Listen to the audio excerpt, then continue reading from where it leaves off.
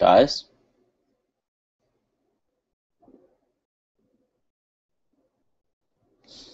Hello? Alright, so let me see if I can fix something.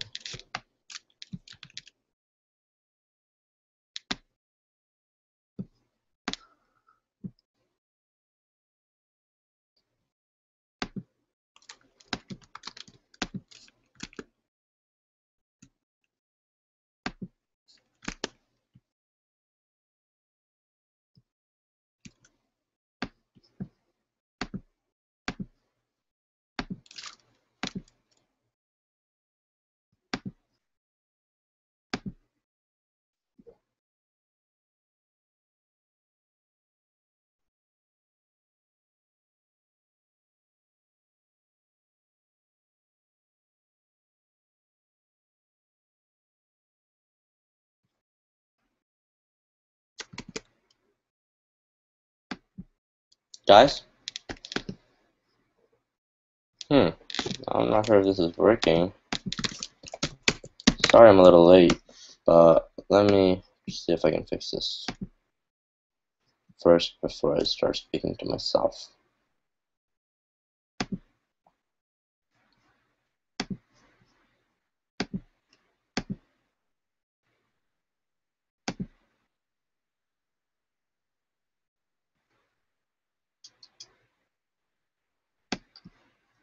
Guys? Hmm. I'm not sure if this is working. Sorry I'm a little late, but let me see if I can fix this first before I start speaking myself.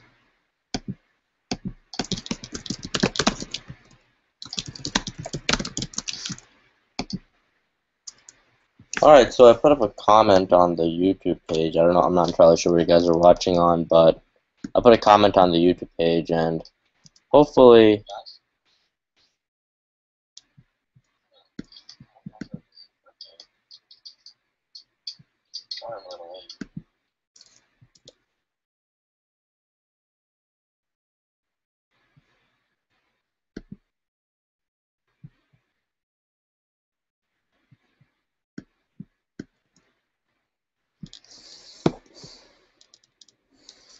Alright, guys.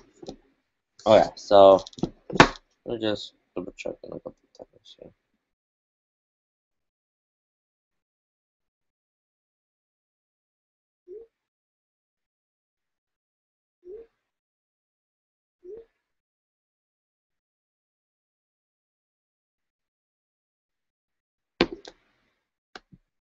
Guys. Whoa. Alright. I'm gonna try to fix this. Just give me one second.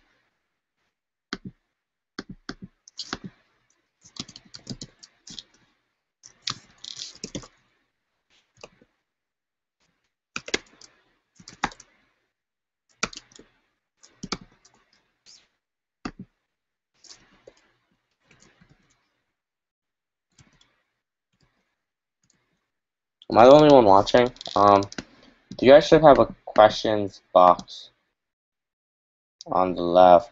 And in addition, you guys should have a couple other ways to interact. I'm not entirely sure if I'm the only one here. But that would not be great. Alright, let me see if I can fix this. Um, I'm gonna just head over to my email, see if anyone emailed. And then that would be helpful. If you get a log or something. Nothing's coming from my pure chat, which means everyone is just doing just fine. Let me just check my pure chat log. That'd be interesting. Guys, one way or another, um, try to let me know if you're here because I don't see any point in doing this if no one is here, and that would be pretty weird. I can't speak for myself. Let me look at my log. It looks like um it looks like we have 4 p.m. Now what do we have? We don't have really much here. We have we got okay, we a couple weird ones. Looks like no one really signed up. Um hold on.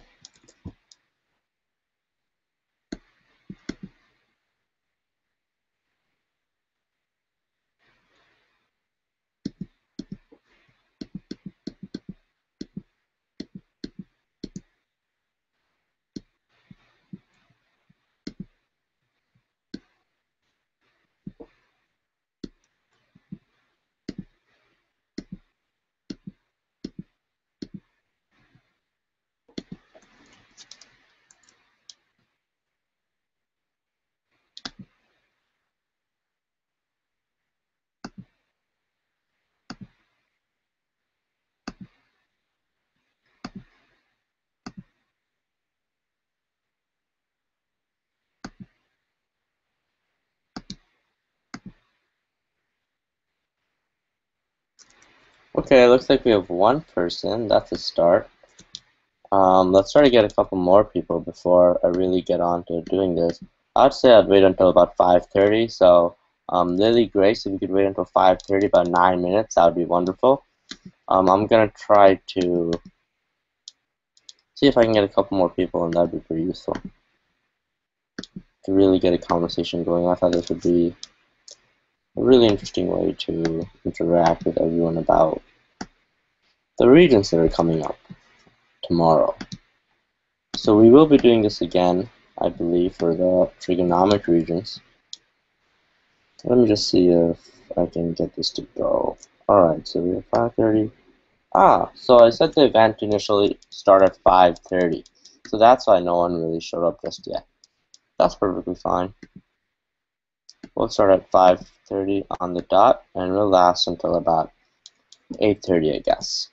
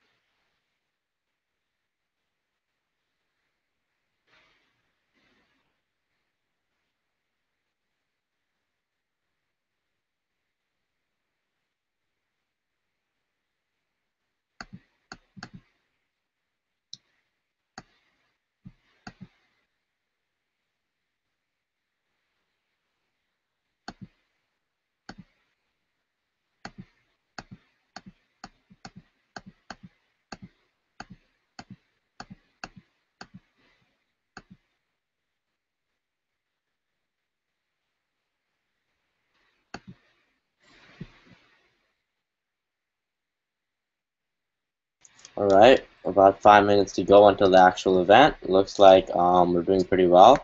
Uh, let me know if you can't hear me, if the audio is unclear. I'm not using an external microphone, but um, I will invest in one soon, but for now I guess this has to work.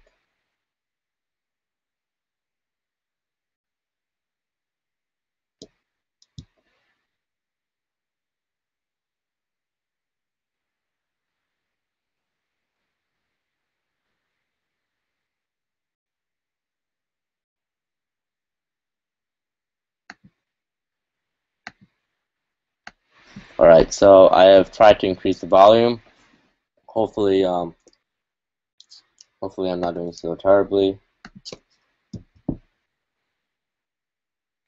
There is a questions bar. Well, if you're on the Google Hangouts edition and not the YouTube edition, even if you're on the YouTube edition, actually, it should give you a method of going over to the Google Hangouts edition, which is a better, uh, better interface, I guess, because there is a questions bar on the right-hand side, just in case uh, you feel like I went over a term too quickly or you weren't able to fully understand a term. It would be helpful to just give me, um, and I'm here for a question right now, just to test um, how the questions uh, interface is working.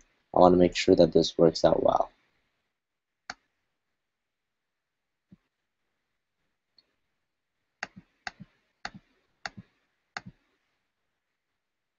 We have about three minutes to go until the actual event.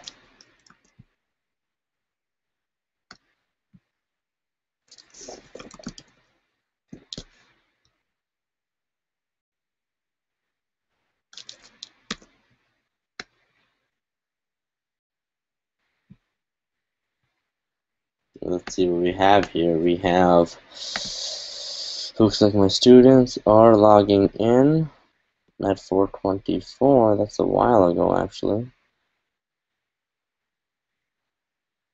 358, 424, looks like we're doing better. Alright, not too shabby.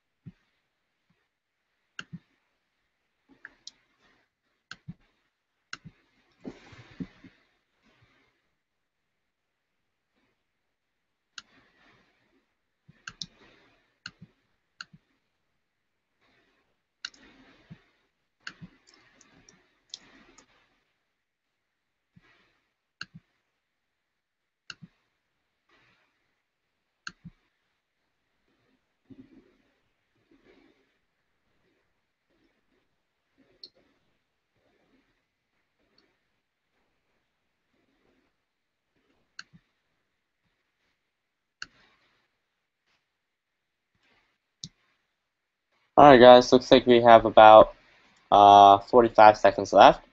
Um, if you're on the YouTube page, you should try to uh, move over to the Google Hangouts page. On the bottom left, there should be a be part of the conversation. Click to join live Q&A on Google Plus Hangouts.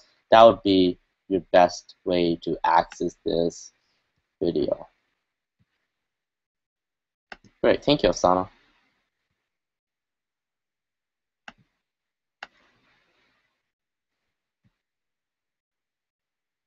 Hmm.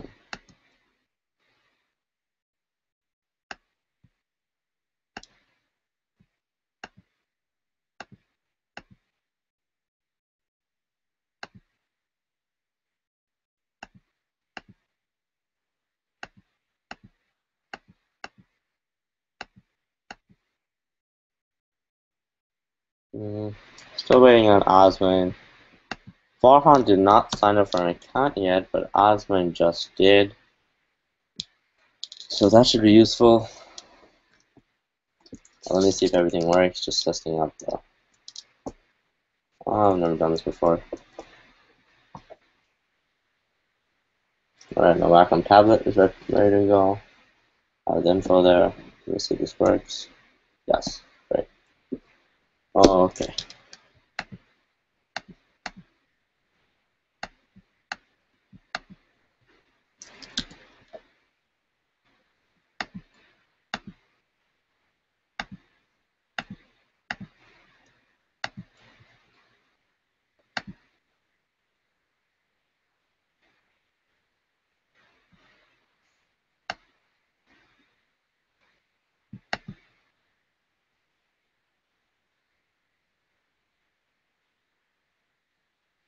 Hmm.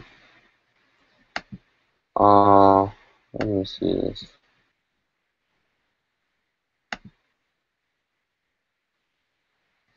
It's Shine World. I'm not entirely sure who you are, but it looks like, yeah, for now, we are the only ones. I guess I'll give everyone another, I don't know, two minutes or so. I want to get started.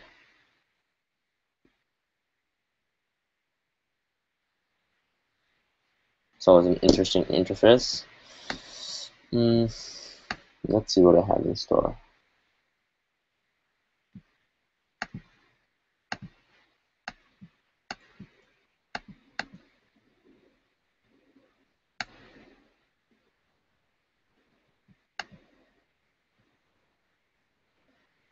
Alright, Lily, I'll start in about one minute. Still waiting on about uh, two to three more people. Maybe they can probably go back to the podcast um, if they missed the start, I guess.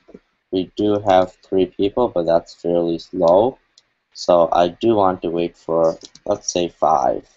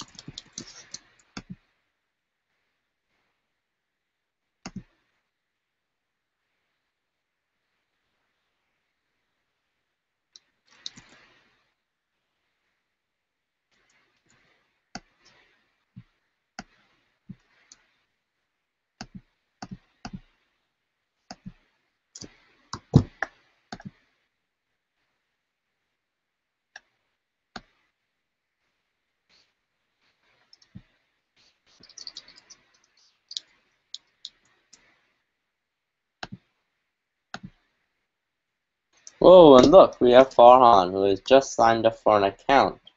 That is wonderful. Let me just uh, him out here and link him to, well, Farhan has just signed up for an account. Let me just make him his page, and then we can go to. Sorry for the delay, guys. Let me just help out Farhan here, and then we should be just alright.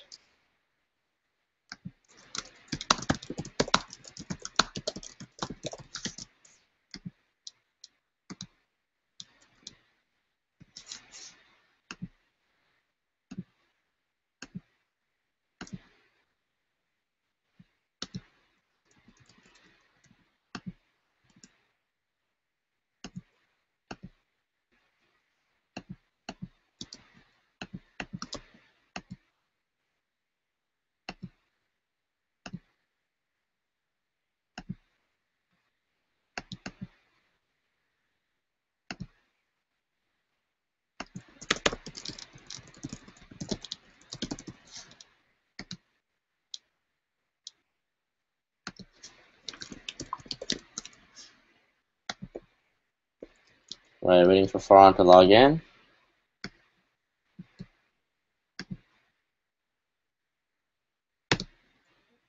Asana, um, Farhan just signed up for an account, so I'm just waiting for him to uh, go through the process of logging in and getting to the link, and he should be here any minute, and then we should be good to go. Sorry about the delay. As usual, you can expect Farhan to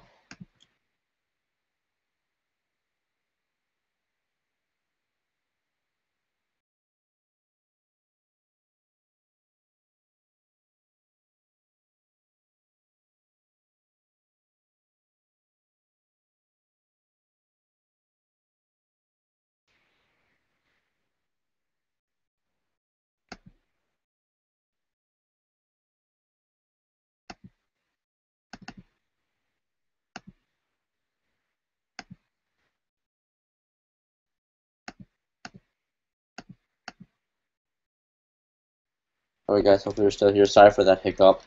I just refreshed the window and that just happened to happen. Let me see if Farhan needs help and then it should be good to go.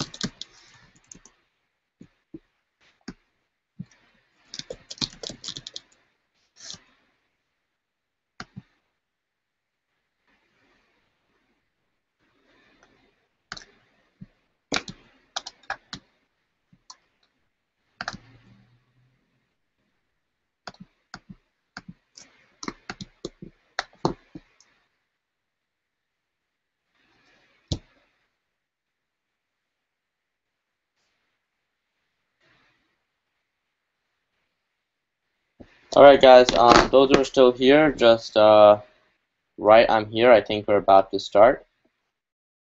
I'm not entirely sure if Farhan is in or yet, but I have tried to help him as much as I can.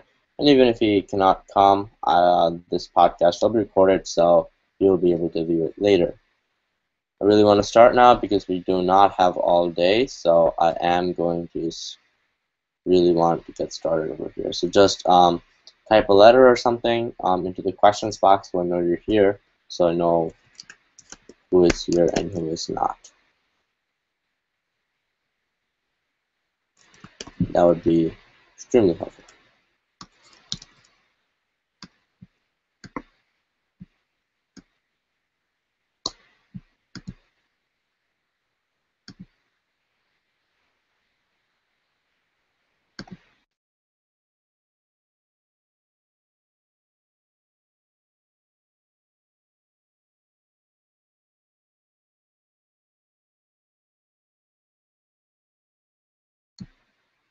Alright guys.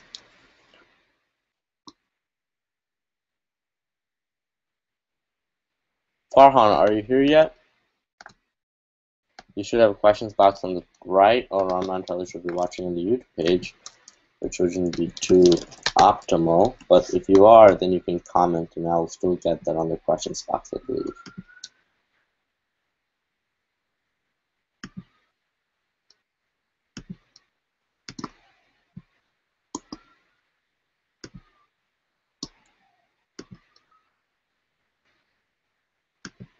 Alright guys.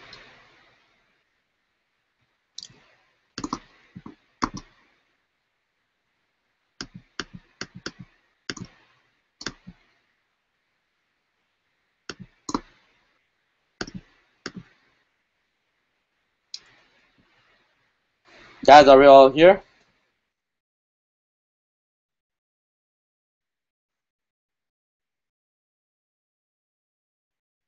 Asman, are you here? Farhan, are you here? Afsana, are you here? Is everyone here? No feedback probably means we're not here. Hmm, how do I fix the situation? Uh, technology is still not great.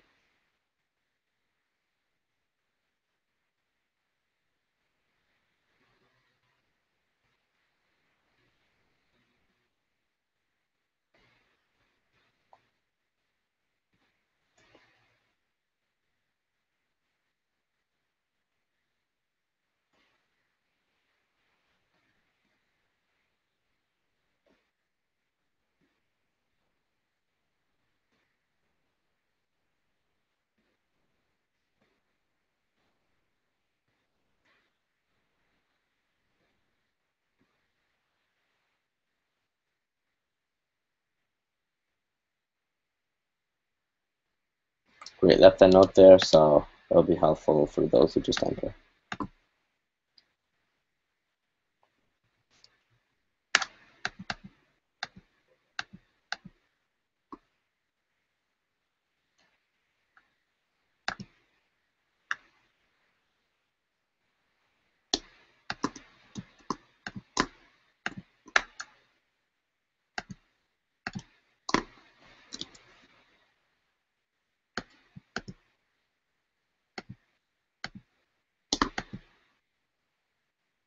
Guys, alright, so let's start. Alright, so over here, what I have here is, um, I can't really see that screen, so that's not useful. Um, let me just move that over to the side so I can see your questions also. So, what I have here is a list of terms that um, I feel like are very uh, pivotal for you guys to dwell on the uh, on the Regents, right? Um, I have looked to the past, I would say six to seven Regents, and I've compiled this list of terms from those Regents, from wrong answer choices, correct answer choices, any answer choices that I really felt, you know, um, had vocabulary that wasn't commonplace. Now, obviously, there are. Farhan has started a chat. Let me just go back to him, guys. Just give me one second.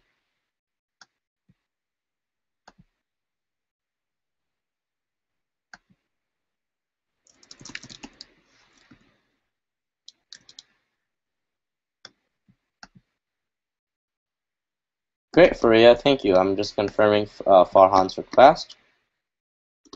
Uh, let me just link him into the room and that will be helpful.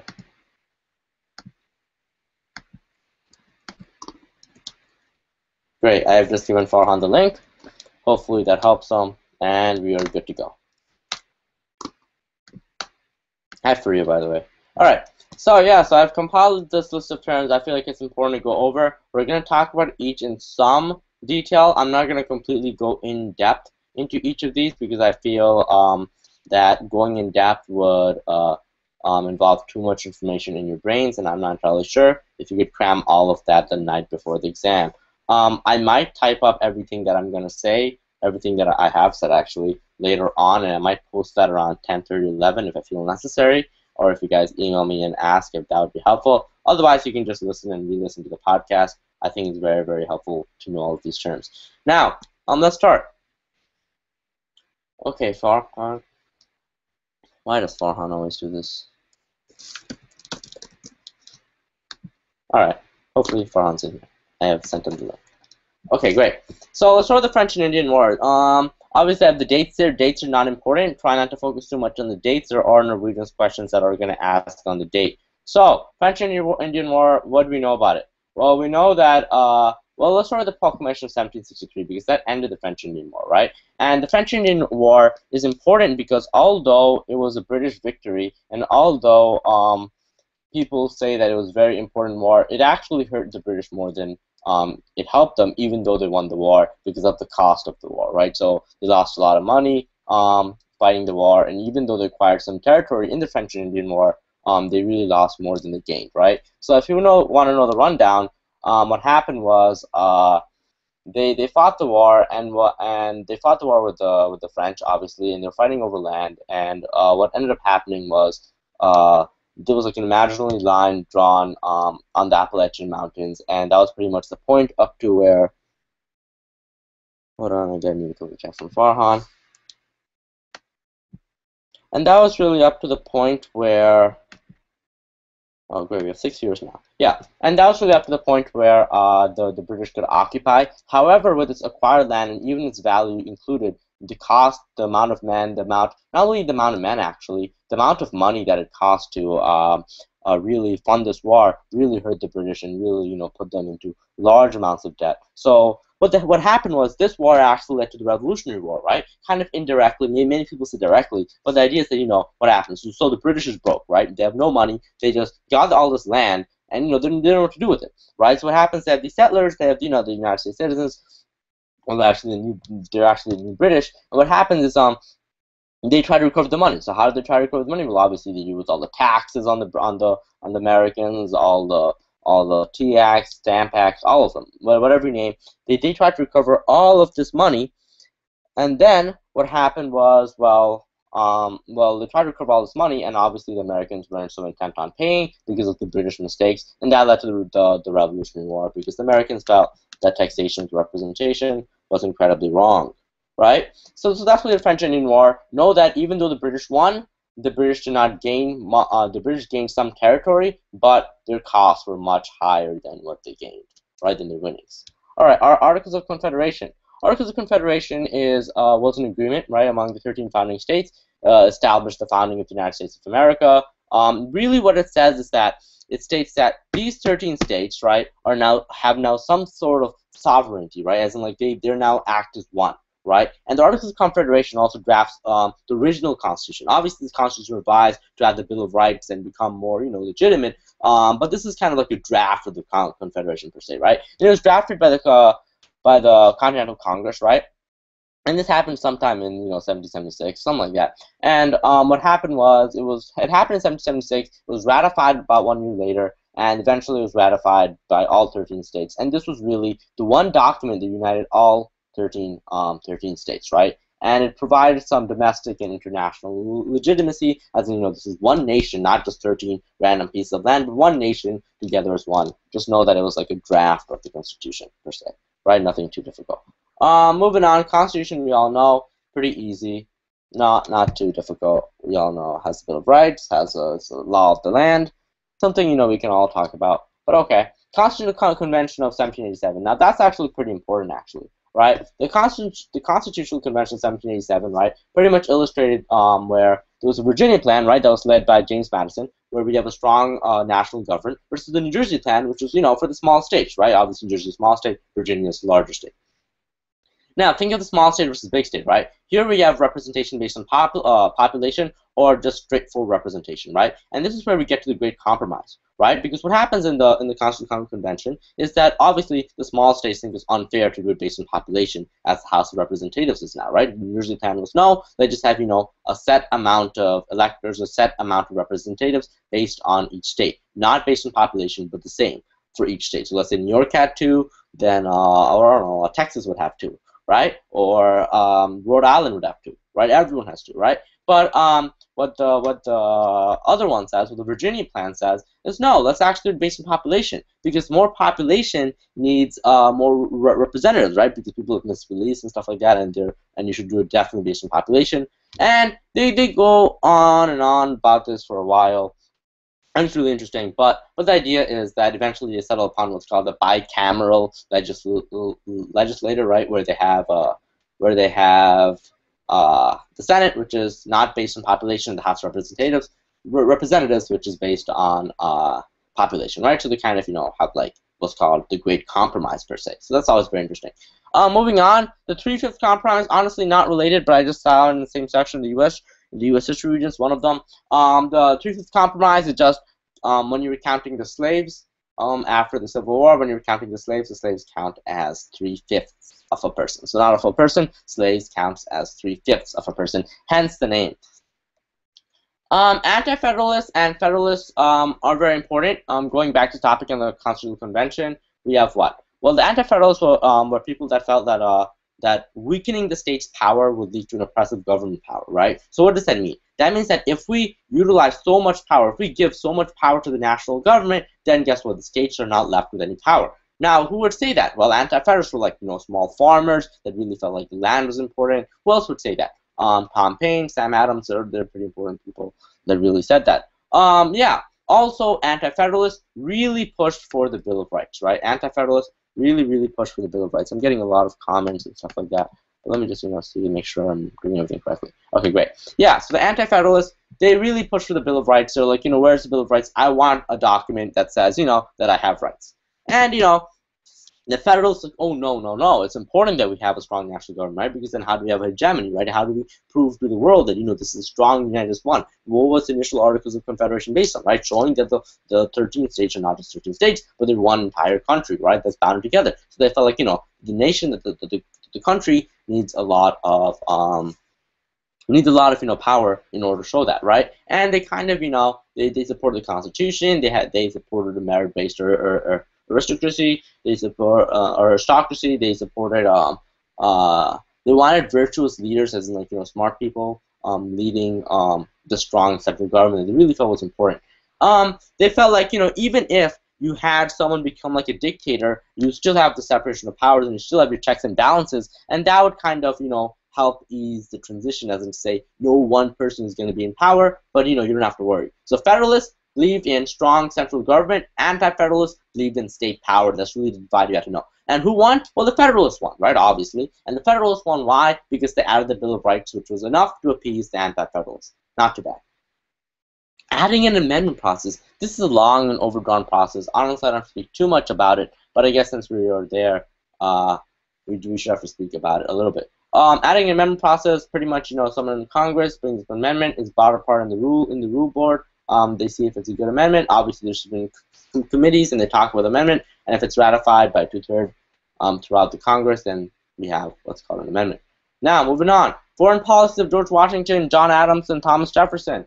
Um, that's pretty important, actually. Uh, when when America started on, right? So when America started on, obviously you just fought the Revolutionary War, and these are like your first three. And what would you want? Well, obviously you do not want to get into any wars. You don't want to get into foreign people's conflict. Why? Because you do not have the resources to do so, and you do not want to create em enemies. You might want to create allies and stuff like that, but you don't want to risk creating enemies because that will lead to another war, and you would not be able to fund that, and you would die, and you would not have a nation anymore. So George Washington, John Adams, and Thomas Jefferson usually um they press what's called an isolationist kind of perspective, as you know, let's let's stay out of war as much as possible. Right, moving on. Uh, what else do we have? We have judicial review, right? Now, all right. So, what I initially had in had had in my mind was, as I wrote stuff, as I was saying stuff, I would write it down. Obviously, I'm not writing stuff down, so hopefully, um, I will probably give you guys um, a type up of everything I'm gonna everything I have said. I think that would be most useful. Maybe I'll write something as we go on, but I guess you know one of those we'll have to do. Judicial review, we should all know, right? Judicial review, quote for quote, is like the power of a court to review the constitutional constant, like you know, if like a law or if an amendment or if a bill is constitutional or not, right? So they're like the final people. The Supreme Court is really what the judicial review accounts for. But the Supreme Court has the final authority on noting if a bill is constitutional or not, and if the deem is unconstitutional, then it has to go back, right? Obviously, there's system checks and balances, so uh, Supreme Court can't determine everything to be unconstitutional. Obviously, Congress can still override it. But um, yeah, so now now here's the thing: Marbury versus Madison is a very landmark Supreme Court case, very very landmark Supreme Court case. Right? This is like the case everyone knows about. Um, so Marbury versus Madison, pretty much. Um, well, I'll give you a little bit, bit of backstory, right? So what happened was, uh, we. Had, well, we had William Marbury, and what happened was he was appointed um, as Supreme Court Justice by John Adams. Now, what happened was John Adams, right before he was supposed to like you know leave office he like hired all of these midnight judges per se right and he offered these midnight judges commissions and stuff like you know to take the job on such short notice and what happened was you know then john adams went out of office because he obviously right before he had to leave office and then what happened William Marbury, Mr. William Marbury over here, and he was like, okay, I want my commission. Well, guess what? Who's the new president? It's not John Adams anymore. It is James Madison, right? So he tries to get, you know, his commission, and guess what? Marbury petitions the Supreme Court and uh, to get that commission. Guess what? Supreme Court's yeah, yeah. Supreme Court's like, yeah, you do deserve to have that commission. You do deserve it. But guess what? We cannot give it to you. Why can't we give it to you? Because we don't have the authority authority to do so. We only have the authority to, um, you know, say bills or something is unconstitutional. We do not have the authority to direct the president to give you something, right? So guess what? They're like, yeah, you do deserve it, but we are not going to compel um, James Madison to give you that document. And that's pretty important, right? That's always pretty important to um, know. All right, I have a couple more comments. All right, hold on, I'm getting a couple emails. Osman.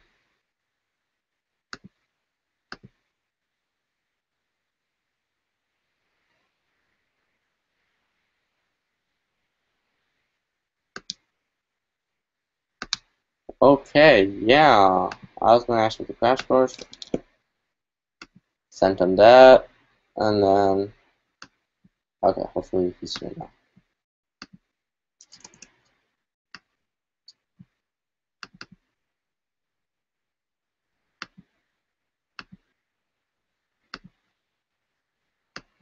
Okay.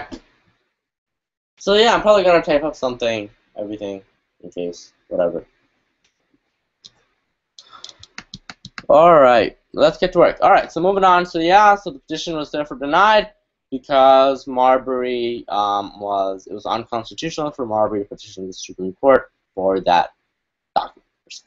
Another thing that often comes up is the Jay Treaty, right? So what is the Jay Treaty? So let me give you some context on that. Oh, also the Marbury vs. Madison is the landmark case for judicial review. You guys should all know that. All right, so Jay Treaty.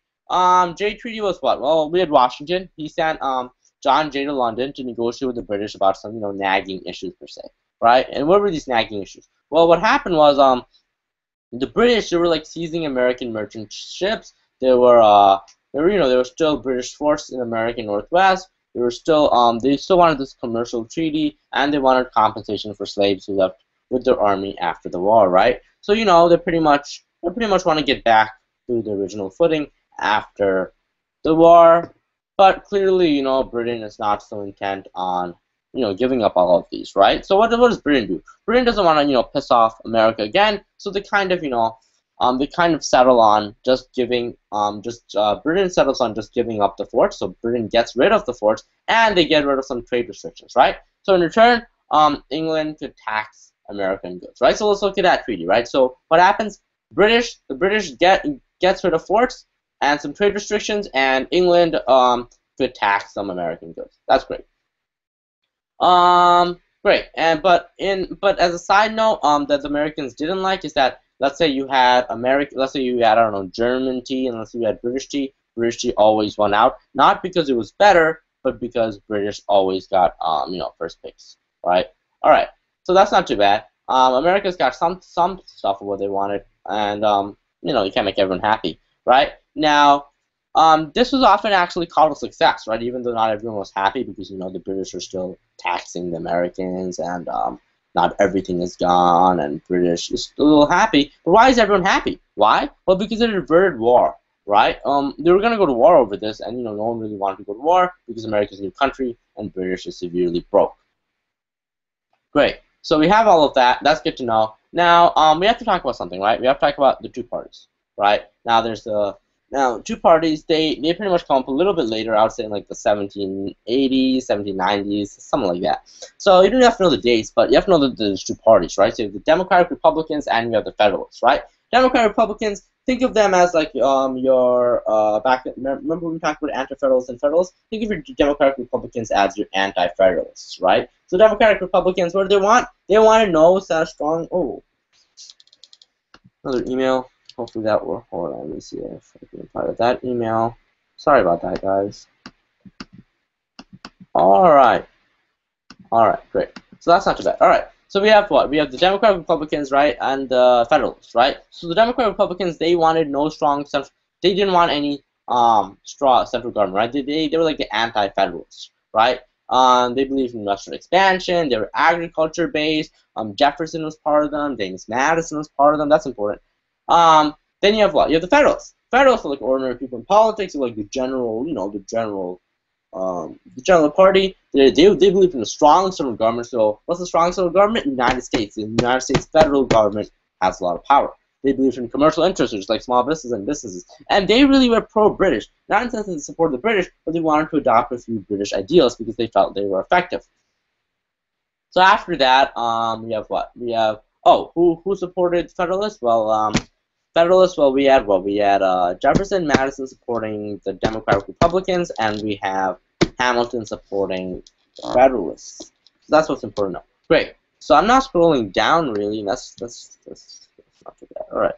So we have all of these to go. All right. So far, is there any questions, guys? Is there any any questions? That would be pretty important to address now. Any questions, guys? So far, is everyone still here? No one's sleeping, right? How's one here? Guys. Everyone here? There's a, there's a questions feature. You guys should use that just in case you have questions. Right? I think that's pretty important. I, I like that feature about Google Hangouts actually. The fact that you can ask questions because I feel like no online streaming service really has a good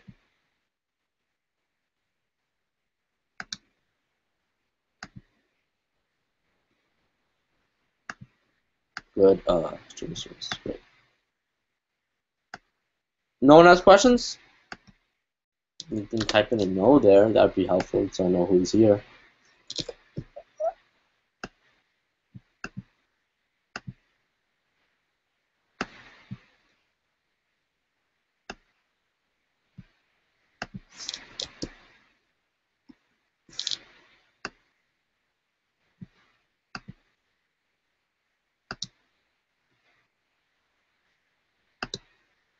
Everyone still here?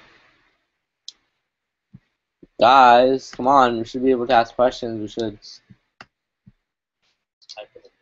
That would be helpful I know who's here.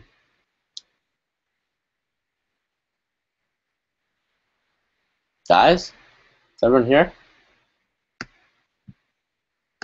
Snow free is on here, so finish that. Uh, is everyone still here, guys? I still have five viewers, but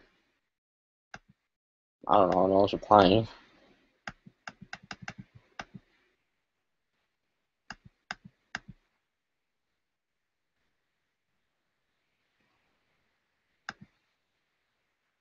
Alright, great. No questions, I'm here. And email from Osman. Wonderful. Okay. Uh, Osman, what's wrong? Rename it kind of these passwords.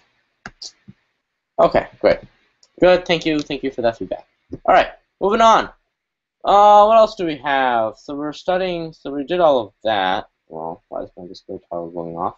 Okay, so we did all that. So what were we talking about? We were talking about, I believe, where, where did we get to the Jay Treaty? Yeah, we got to the Jay Treaty, I believe.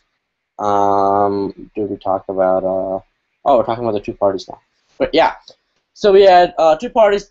We have the Democratic Republicans. They were like your anti-federalists. They didn't believe in a strong central government. We have your Federalists, which are like ordinary people, and they believe in a strong central government. Anti-federalists, Democratic Republicans, who are they? Jefferson and Madison. And Federalists, who are they? Hamilton. Wait, whoa. New activity on your video. Let me just see this. Let's just. Uh, sorry, guys. Um. Oh, I have new comments. Ah, I see what is. Sorry, guys. Let me just really, really quickly. I've never done this before, and um, it's always new.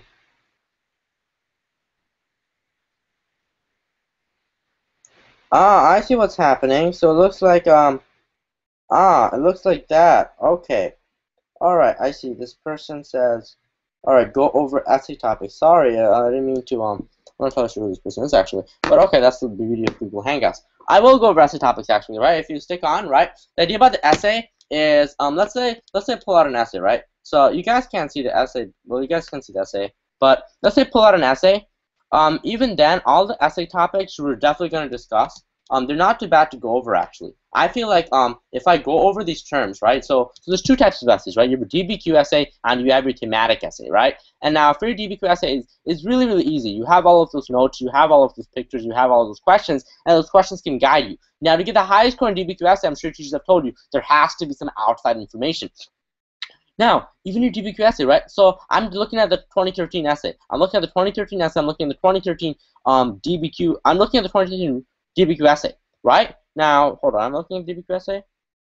Am I? Yeah, I am. I am looking at the DBQ essay. And guess what? Look, look, it says, it says, um, these cases include, so talk about these cases, use for documents, talk about Dred Scott versus Sandford, talk about Plessy versus Ferguson, talk about Brown versus Board of Ed, and then make an essay on that. And guess what?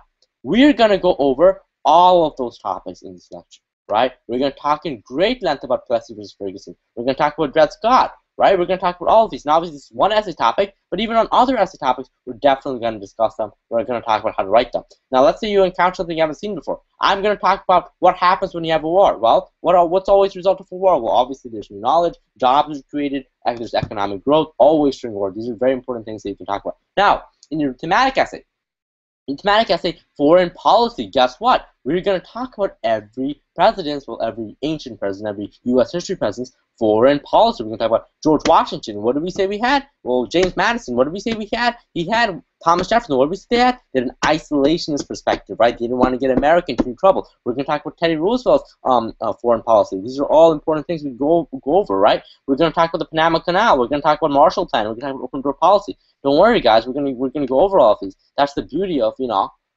doing it terms based, right? So don't worry. Whoever commented that on the YouTube video, I I I, I got this. Don't worry. All right, that's wonderful. Now let's get back to the let's get back to the content. I believe what we have to go over next is the Alien and Sedition Acts. The Alien and Sedition Acts. That is. Oh, hold on. I have an incoming chat from Osman. Essay topics.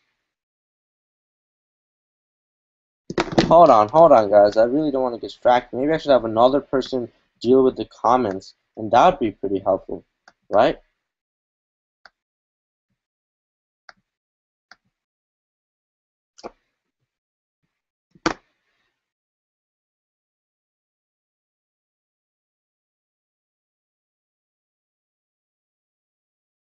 Sorry guys, it's just that I have um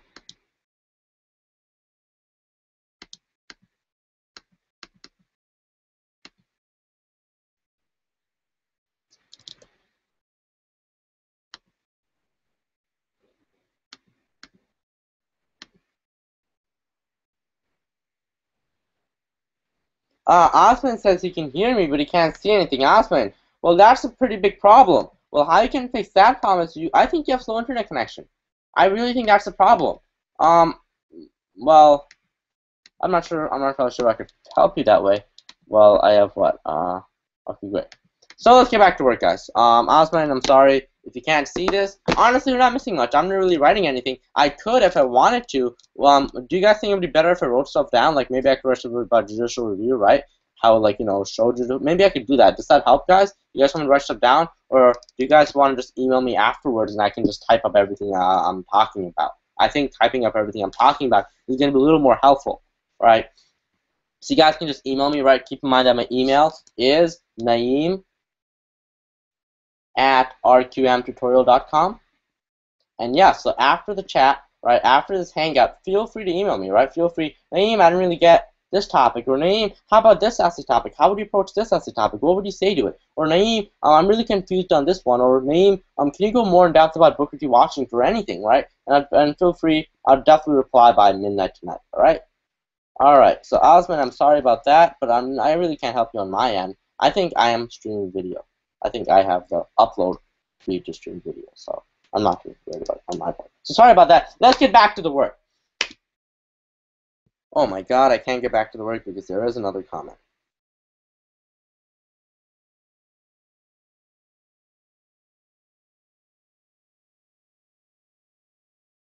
Okay, slow down. Alright, I'll slow down. Alright, okay. So we have the Democratic Republicans. The Democratic Republicans did not want a strong central government, right?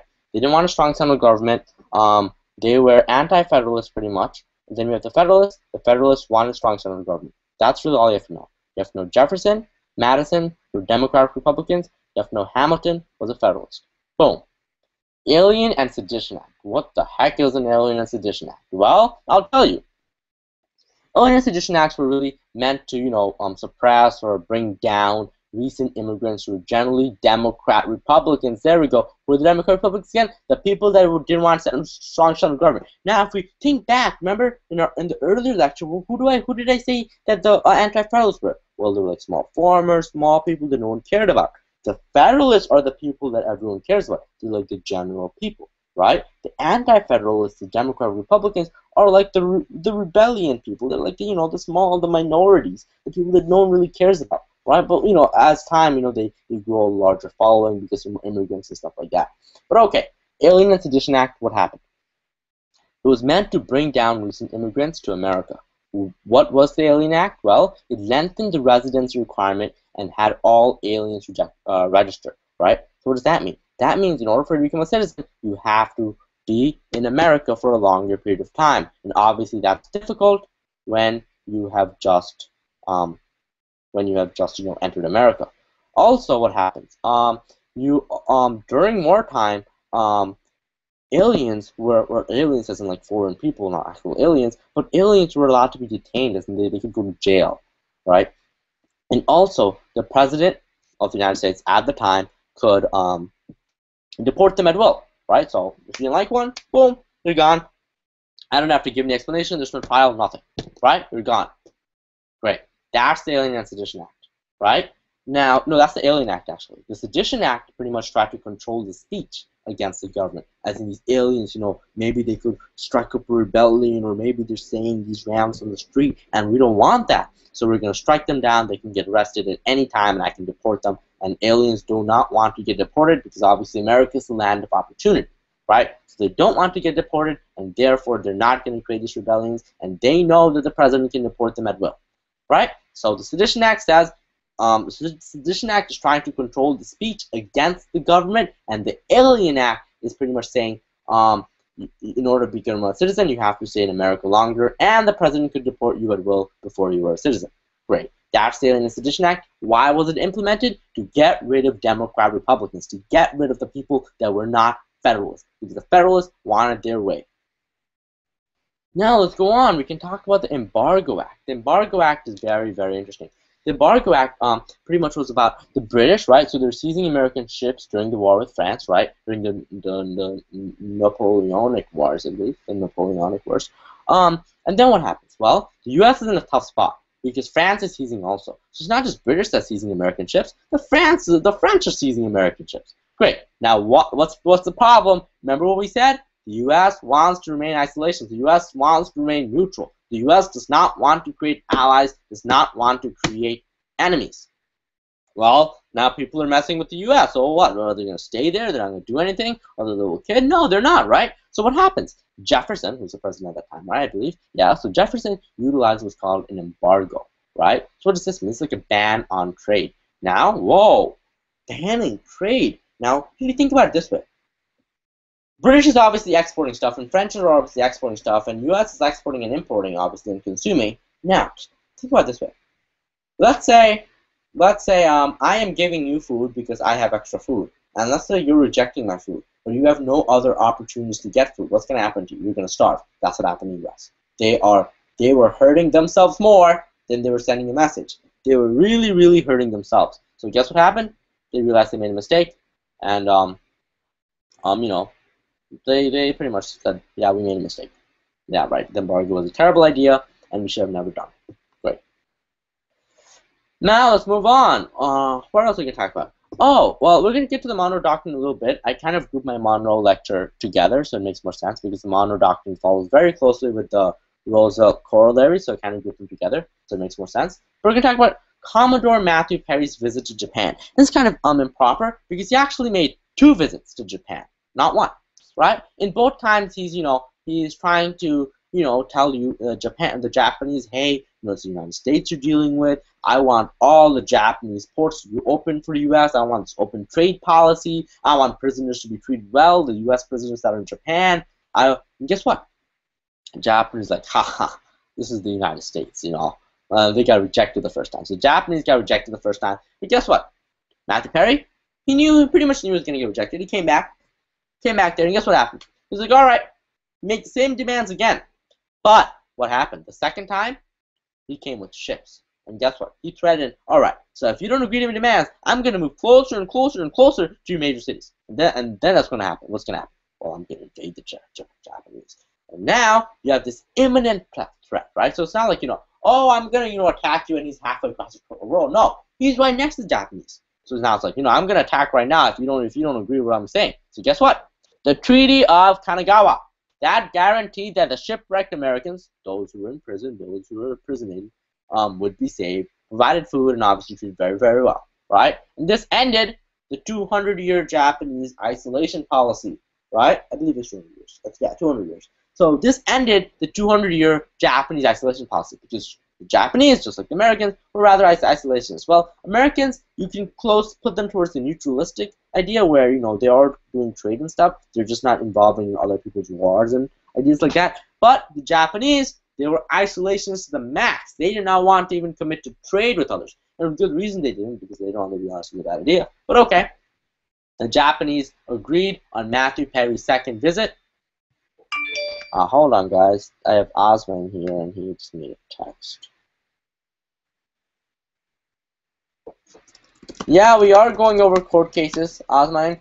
Um, well, very quickly, Osman asked, can you review um, judicial review? Uh, yeah, well, judicial review is pretty much um, uh, the Supreme Court can look at the constitutionality of, of, of, a, of an amendment or a law, right? So they can deem a law or amendment to be constitutional. Marbury versus Madison is the landmark case for judicial review. Now, if you go back and you scroll back in the video, well, after it's done, it's going to be uploaded. If you scroll back on the video, you can definitely learn about Marbury versus Madison, right? I talked about how uh, Marbury, William Marbury, he comes in, he says um, he pretty much he's appointed as a midnight judge, right? And then uh, by John Adams, and then um, he, he kind of goes against James Madison for not giving his commission. The Supreme Court says, yeah, you deserve your commission, but we have no right to um, supersede whatever the president says on that matter because we only have the right, based on whatever article, to um, say that uh, to say that a law is unconstitutional. We don't have the law. We don't have the right to compel the president to make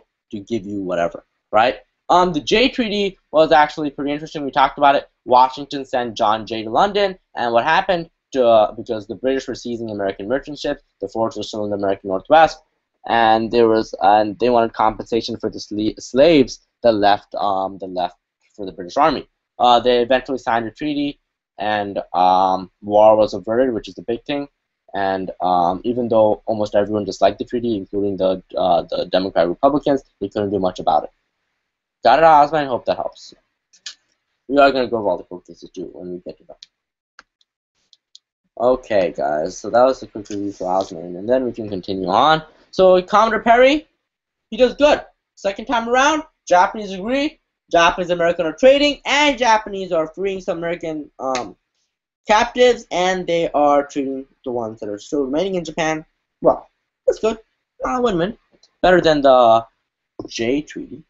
All right, the Emancipation Proclamation. That's always cool. That's interesting to talk about. Emancipation Proclamation. Well, we all know Abraham Lincoln's involved. We all know in emancipating slaves, freeing slaves. Great. Guess what? It wasn't actually freeing slaves. Uh, it was pretty much the first step towards outlawing slavery. It didn't exactly outlaw slavery, but the main focus of the Emancipation Proclamation, which many people get wrong, was it was a time, it was a really Civil War time, right? So now what happens? What's Abraham Lincoln's main goal? Well, his secondary goal, in his head, people thought his main goal was, guess what? I want to get rid of slaves. And yeah, that was kind of a large goal, but a larger goal than that was to keep the United States sovereign. What does that mean? United as one, as one power. So the Emancipation Proclamation's central, main focus was not to help the slaves, but to keep the United States as one sovereign power. Cool. Very cool, guys. Got it? Makes sense? That's the Emancipation Proclamation delivered by Abraham Lincoln himself. Moving on. Who do we have? We have none other than Booker T. Washington, Booker T. Washington, and W.E.B. Du Bois. You know, they're both African. They both believe that African Americans should have increased civil rights.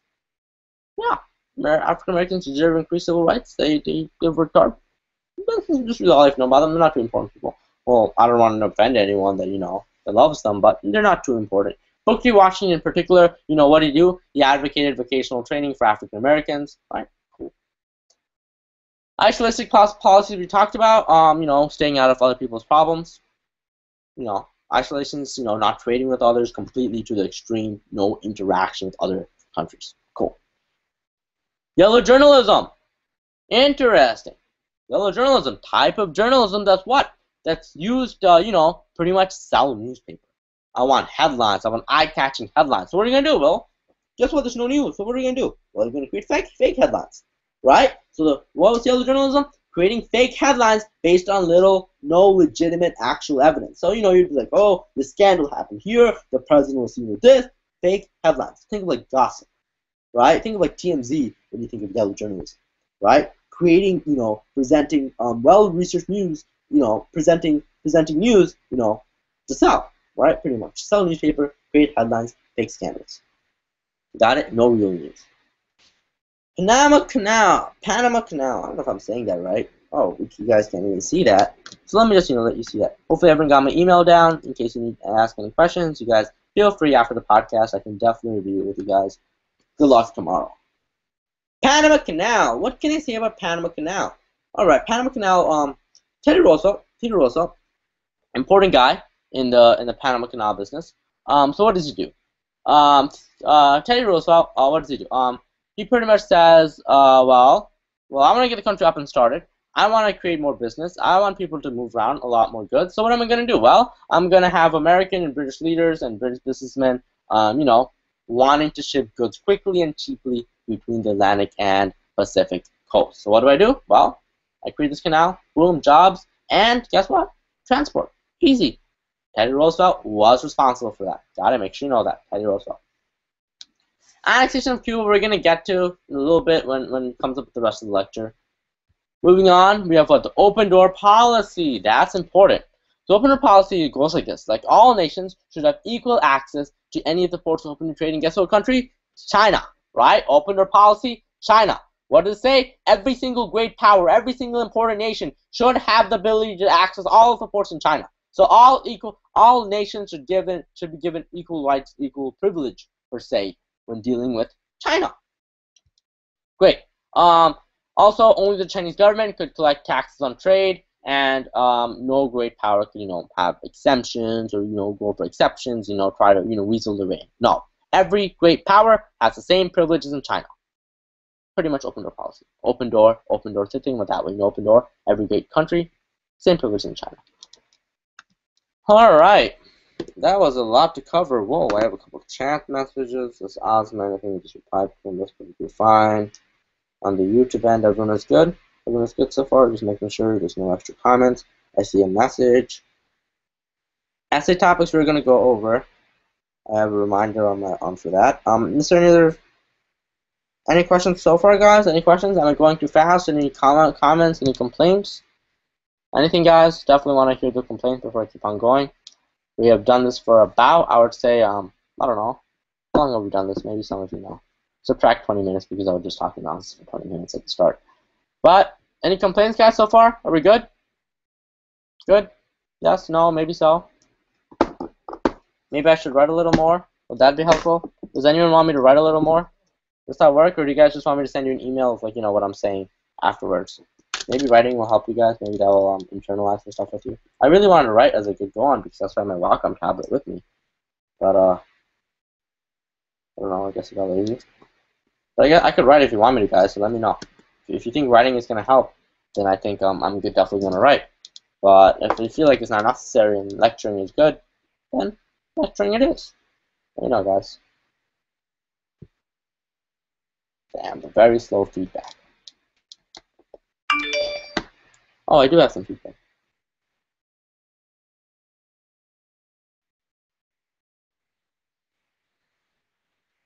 Alright, Aspen says, can you go a little bit slower? Yeah, I can go a little bit slower for Yasmin.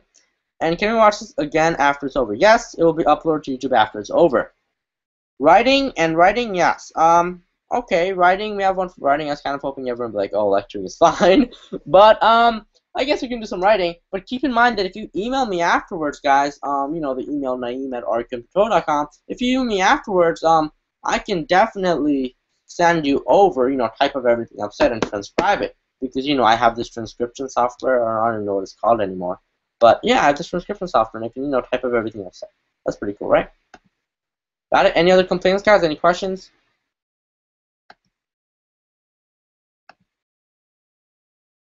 Any questions, guys? I've just done on everyone's. Any questions, guys? Everyone here? I have four or five viewers. That's not too bad, I guess. Any questions? We're good? Two minute intermission. People need water. Oh, where's my water? Huh. Oh, there's my water.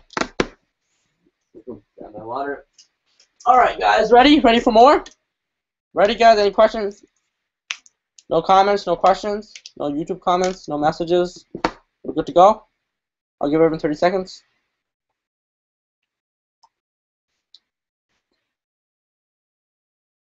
I definitely to go a little bit slower for Yasmin.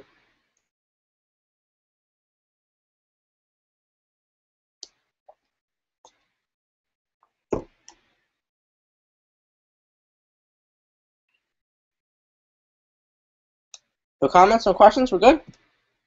Helpful, guys?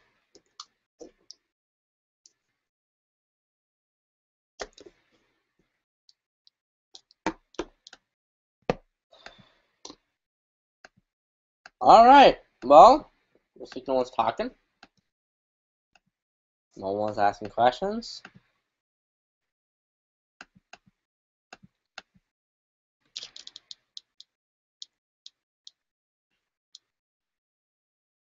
Should Sure, guys, no questions?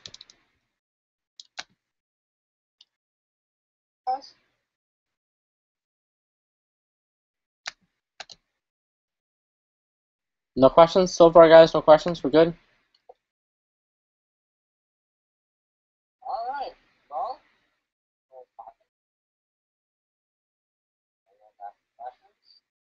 Alright, sound you definitely. Alright, let's get to work. Back to work! Okay, so what do we have? Um, hmm, I promised I was going to talk a little bit slower, so I guess I have to do that. Alright, Boxer Rebellion, I believe is what we're up to. Oh, open door policy. Oh, Roosevelt corollary. I also moved down a little bit because we're going to talk a lot about Teddy Roosevelt and what he did. So Boxer Rebellion. What do we have to know about the Boxer Rebellion? Well, I'm not trying to show us really U.S. U.S. history because really Chinese is really a Chinese problem where they tried to drive all the foreigners out of China, and the Boxers political party there, tried to gain control in China due to China's facing hardships, right? So China's hardships, Boxers gain power, Boxers try to drive all the foreigners from China. Boom. Moving on, what do we have? Well, now, let's talk about, whoa, whoa, whoa, whoa, whoa. Looks like, yeah, President Teddy Roosevelt. This we're going to talk about all the stuff I left for Teddy Roosevelt. We're talk about why Teddy Roosevelt is important. We're talk about everything you need to know about President Theodore Roosevelt.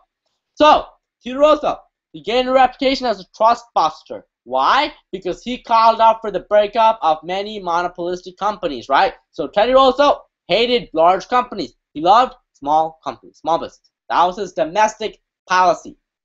Now, moving on, Monroe Doctrine. Monroe Doctrine. What do we know about the Monroe Doctrine? That's very, very important. It comes up in like every single Regents, so pay attention.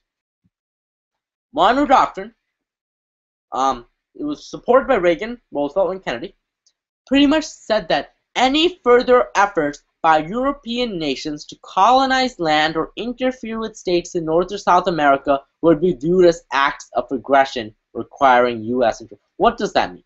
Well, here's what that means. That means that if the Euro, if, if any European nation decides to start uh, making making trouble with any country in North or South America, the United States would take action. That's precisely what it says.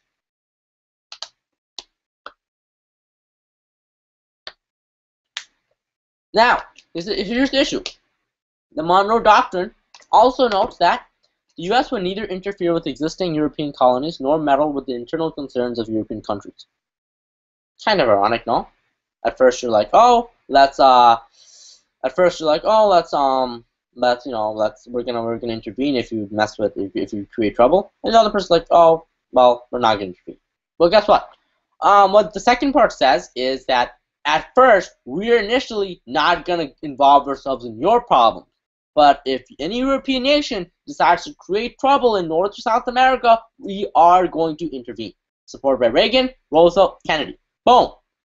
Moving on. The Roosevelt Corollary. This is why it follows right from the Monroe Doctrine. Beautiful topic to go over after we talk about the Monroe Doctrine. So what does Roosevelt Corollary say? It says the U.S. will intervene in conflicts between European countries and Latin American countries, you know, South America, to enforce legitimate claims of European powers. What does that mean? Well, let's get involved in other people's politics. Who said it? Teddy Roosevelt. Interesting, right? So the Monroe Doctrine says, we're not going to mess with you. We're going to mess with you if we are going to mess with you if you involve yourselves in Latin American conflicts. What does Roosevelt Corollary say? We're not, we're, well, we will mess with you if, uh, we, will, we will get in between and we will support the European to enforce the legitimate claims of the European powers. Got it, guys? Got it? So the Monroe Doctrine says what? Initially, we are not going to mess with you. But if you mess with any um any Latin America any Latin American country, we are gonna you know intervene. And what does Carter say? Well, um the U.S. is gonna intervene and you know make sure that any legitimate claim made by European powers is supported. And guess what? We're getting involved in other people's politics. Now, what? Another Roosevelt policy? The Roosevelt. The Roosevelt Square deal. Came up on like two Regents out of the seven or eight I looked at. The Roosevelt Square deal. What's that? It's pretty much Roosevelt's domestic policy. Let's conserve natural resources. Let's control the big, big corporations. Let's um, let's be let's have consumer protection. Let's let's it's like a very progressive kind of idea, right? It's help middle class, protected businesses from the evil customers. You know, helping everyone out, progressing America to a larger business capital than it was, right? That's the Roosevelt Square deal. Domestic policy, supporting small business conserving natural resources. Great. Now, notice I, I talked about the Roosevelt Square deal is very progressive. Guess what we're getting into? We're getting into the progressive era. The progressive era has what? Amendments concerning, you know, the income tax, the direct election of senators, prohibition, which you know, no alcohol and stuff, woman suffrage enacted. That all happened in the progressive era. And guess what? That whole entire era was let's try to limit the power of big business. And guess who supported it? Woodrow Wilson and your favorite, Teddy Roosevelt. Moving on, Harlem Renaissance of 1920s. Um, honestly, very small topic. You know, Harlem, a lot of culture, a lot of stuff got infused in America. Good stuff, culture, whatever, music, arts, whatever you want to say. That kind of thing. Great Depression. Honestly, I don't want to go too much into this, but we should all know. Stock crash, Black Tuesday led to Great Depression. It preceded World War II. Very important. Preceded World War II. Why is it important? Whoa, Great Depression, World War II. World War II stopped, pretty much stopped the Great Depression. Why? Why do I say that? In World War II, they needed weapons, they needed knowledge, they needed scientific research, they needed all of these jobs. And guess what? World War II, these jobs after the Great Depression. Also, you know, obviously there was a New Deal and stuff like that that helped also. Right? That was pretty important. The New Deal was also very important, not just the World War but the New Deal was also very important. Okay, what to the Great Depression? Well, well, what happened after the Great Depression? Okay, well, we have the Dust Bowl. Right? Keep in mind you have the Roaring 20s and 1920s, right? And that's where the Harlem Renaissance of the 1920s. Those were really great times. And then you have the Dust Bowl. What happened to the Dust Bowl? Well, people say it's you know nature, but no, it's really farmers' fault. They were over they were over cultivating the land, right? They were over cultivating the land. They were you know taking out too much plants. They were they were taking out too much. You know what? They were over cultivating. There were there was too much. There was too much. What's called agrarian agriculture based economy. So, you know, there was like rapid mechanization. They were using tools and machinery to, you know, take all this fruit out and all this plants out and whatever, right? These, these, you know, tractors and whatever. And guess what? Eventually, you just have no more land. You just have no, not no more land, but no more cultivated land. You know, all the topsoil is like, you know, dry. You have extracted all the moisture. Guess what? It all blows away like sand, right? You have a dust bowl. It greatly, it greatly damaged the ecology and other stuff like that. Right, moving on. Alright, uh, looks like I have four viewers. I think they dropped. Did one person leave? Oh my gosh. Hold on, guys. Let me, let me try to figure out something. Refresh all my things. New message. Writing, yes. Okay. Oh, what else is there? Um. How are you doing so far? Good. Good, guys. Everyone can hear just fine. I'm not using an external microphone. I'm just using my laptop's microphone actually, which I don't know if it's too great, but hopefully it works. Any questions, guys?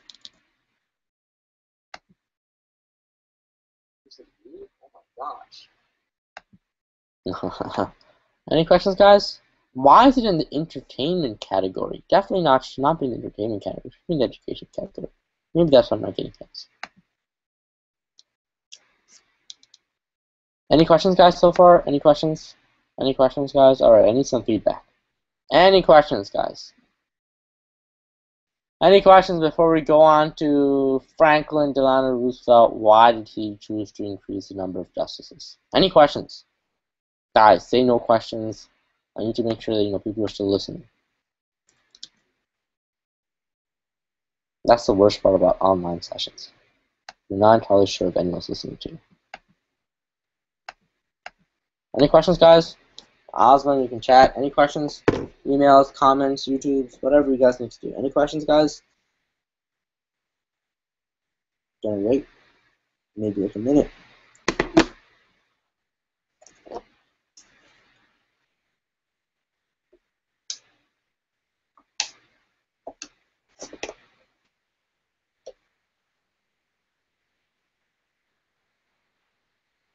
you guys can, you know, just type no questions in the questions box or comment or no questions or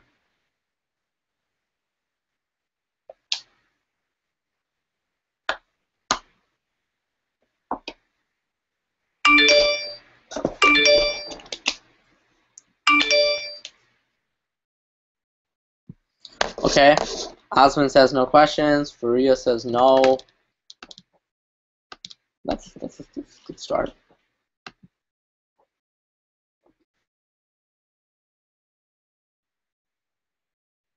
That's 50% of my population, guys. There's two other viewers.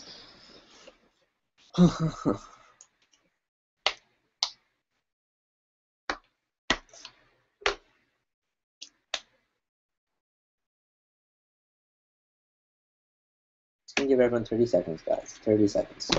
I'm just drinking a lot of water now.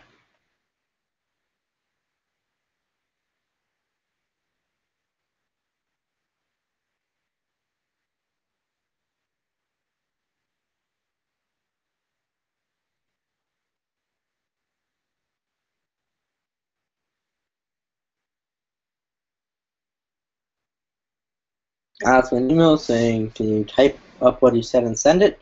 Yep, of course I can, guys. So if you need what I typed, if you need what I said, I can type it all up, or I can have my application transcribe it, and I'll be happy to ship it over to you guys. We'll email it over, obviously.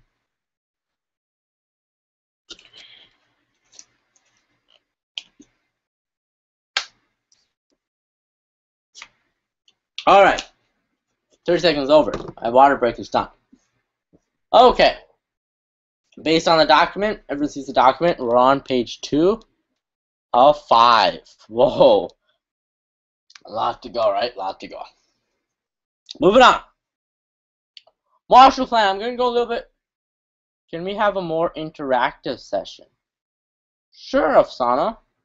How would I do that, though? I want to have a more interactive session. But I feel like, I don't know, maybe the interface isn't there yet. Oh, guys, that's why, um, those who are in Trig, that's why I'm moving the Trig session over to the center, right? So the trigonometry session, right, anyone's free to come. The trigonometry session, except Osman because he's taking pre-calc. But the trig session is going to be at the center.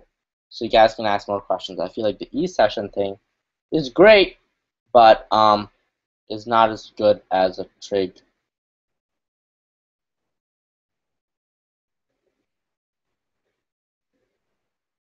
is not as good as a as an in the center session, right? So you guys are pretty calm, right?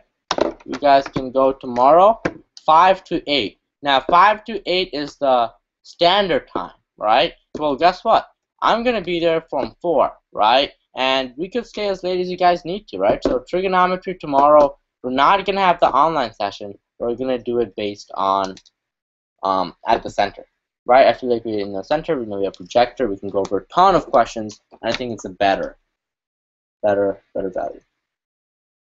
Can we have an actual hangout where everyone talks? Hmm. We can. Can we do that? I think that's how it happens, right? I think we can have 10 people talk at once, but I'm not entirely sure how to do that right now. Let me see. Maybe I can invite someone?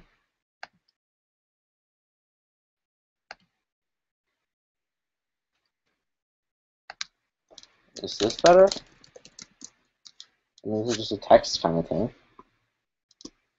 Hold on, guys. I believe that we can have 10 people hangouts. Oh, I think it's a hangout on air. Maybe that's why, but I, I think I can have collaborator or something.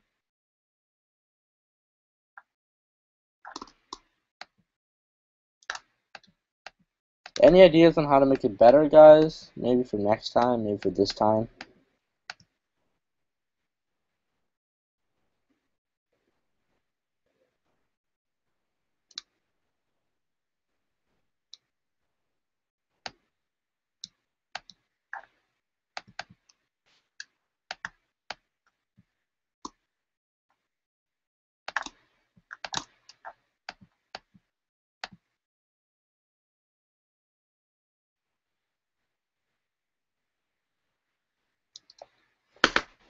Hmm.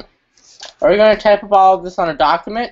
Yes, I am going to type up all of this into a document. I do have transcription software also, so that will help. I would say, um, uh, I would say I can get it typed. Well, uh, um, I don't know. Maybe, maybe we could end this early, and maybe would would everyone prefer I just type everything up? Would that be a better idea? And then you guys can just study that. Maybe I'm speaking too fast. Maybe the interactive portion isn't there yet. Maybe you guys want to do it that way. Like maybe I could type all the terms up, like all the stuff up. Maybe that'd be better. Any ideas on that? Um, Afsana, yeah, on Gmail or Yahoo. Um, I, uh, um, the thing is, a Hangout on Air is supposed to be a really nice interface, and I'm supposed to, as stupid as that sounds, um, I'm not entirely sure on how I invite. I guess I can. Let me see. Let me see. You know what? Just give me one second, guys. I'm gonna. I'm pretty sure I can invite you guys. Let me just see if I can uh, invite you guys. Invite people on Google Hangouts on air.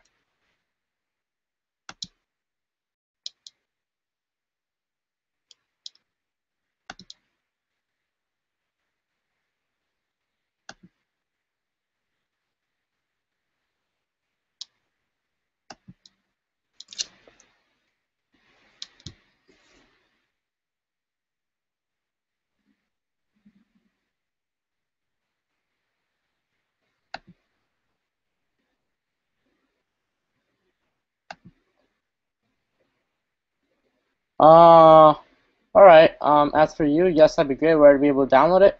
Well, uh, what you could do is, well, I guess, um, you can email me at naeem at rqmtutorial.com and, uh, and you could definitely download it from there, right? Well, I can email you the file, you wouldn't be downloading it, right? And again, the email is naeem at rqmtutorial.com.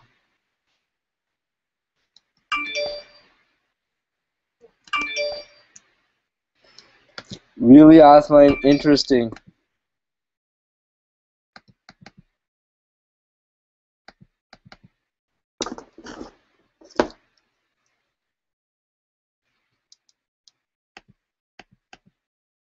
Afsana, you said to invite you guys, but how, how do I invite someone?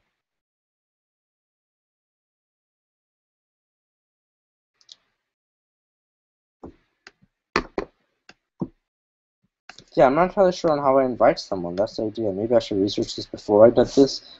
But, uh...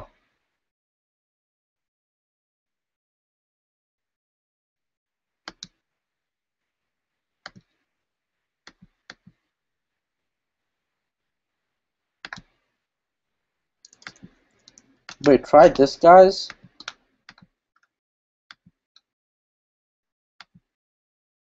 Hold on, guys. Um, I put something in the chat. Try that. I think that will allow you to join. Or maybe I can do a normal hangout instead of a hangout on air. And that would, um, that would be better, I guess, right? I think the normal hangout on, uh,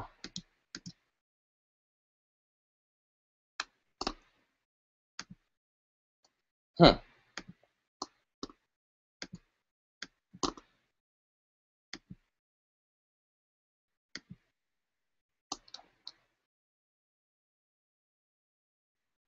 Alright guys, let me see what I can do here.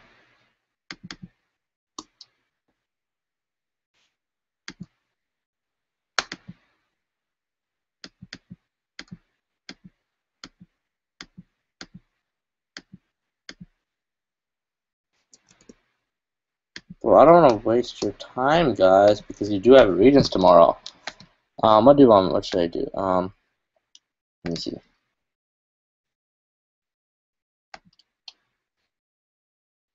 All right, so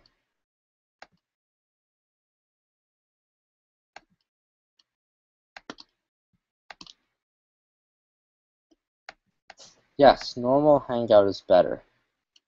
Okay. I'm gonna close this hangout, guys. I'm gonna go on to a normal hangout. Alright, um, wait, can Osman still watch? Osman, do you have a, are you on Gmail? Are you on Gmail? I'm not quite sure if Osman is on Gmail. No, he's on AOL. Does that work?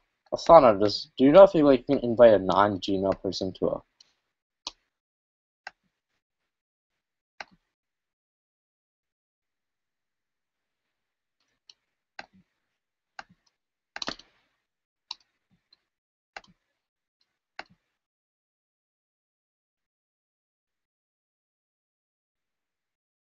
Hmm, thank you, Sana. I just read the email. Alright, I'm gonna end this chat for now. I think it's, uh, I don't know if it's working as well. Hopefully we can work on the technology a little bit better, and then we can do it. But, alright guys, uh, if you need the document, make sure you email me. That'd be wonderful. And, bye.